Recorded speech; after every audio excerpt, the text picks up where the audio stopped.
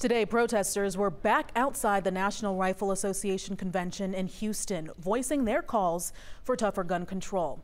This comes as the community of Uvalde, about 300 miles away, continues to reel from the nation's deadliest school shooting in nearly a decade. Today, mourners continue to come to Uvalde's town square.